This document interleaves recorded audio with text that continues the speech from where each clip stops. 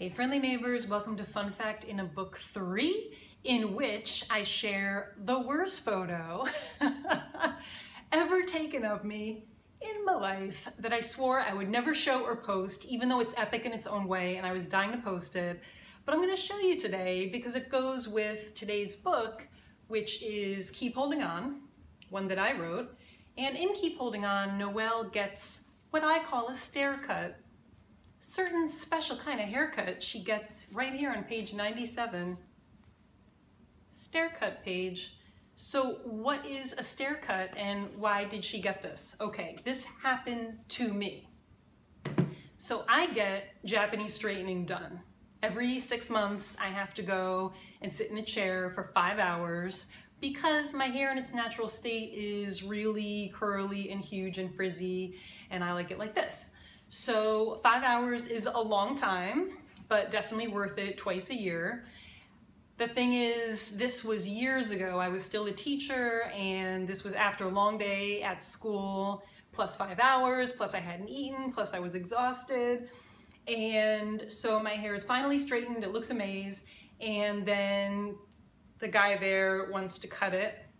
And we had a little bit of an issue with language so he wasn't really understanding what I wanted. I was trying to explain, the word I was looking for is angling, angling on the side. But I didn't really know how to describe that and he didn't really know what I was talking about. So I kind of drew a picture showing what I thought was angling, but what he thought was take big chunks of hair and chop them off. So I didn't have my glasses on. I can only see a few inches in front of me without my glasses. So when he started this, I was so exhausted and ready to eat, and I didn't even think that he would do something like this, wherein he took about, yeah, like this much hair, big chunk, chopped it off right up here, right up there. And then the next chunk, same thing, a little bit lower, and he continued to chop chunks of my hair off so that it looked like I had a staircase on the side of my head, which that's a haircut. I mean, I would think that when you're taught how to cut hair, a stair cut would be an example of what not to do, but it doesn't even need to be an example of what not to do because it's so obvious not to do that thing. So for some reason, I had a stair cut on my head. It took a long time to grow out. In the meantime, one of my fave films is The Station Agent. Still to this day, one of my top five films. It has Bobby Cannavale, I love him. Patricia Clarkson, I love her. Peter Dinklage, Michelle Williams, which come on. And it's just this adorable indie, sweet, nostalgic, funny, deep, adorable film. So def recommend The Station Agent. If you haven't seen it, you should see it. I was obsessed with this movie, still am. It's filmed in Newfoundland, New Jersey, which is this middle of nowhere town in the middle of the woods, kind of close to where I grew up. And I didn't even know that you could actually go there and that it's a thing to actually go to the train depot from the movie because it's about a dude who moves into an abandoned train depot. But yeah, here's me freaking out.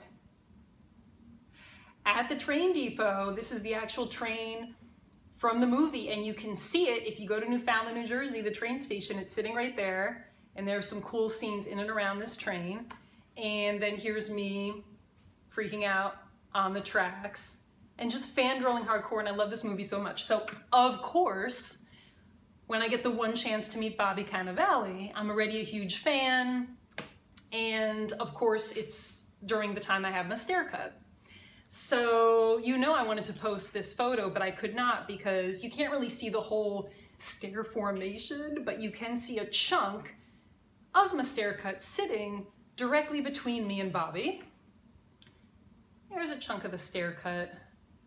Ah, memories. And here's my friend Joe's finger, because this was old school cam, so I thought, you know, let's blow this up and make it black and white for fun, and chunk of the stair cut. That'd be, yeah, that's it right there. One of the spiky bits. So that happened. So if you ever got a stair, a stair cut or a haircut, that made you cry for days, or if you were a hot mess when you met one of your fave actors, you are not alone. Until next time, friendly neighbors.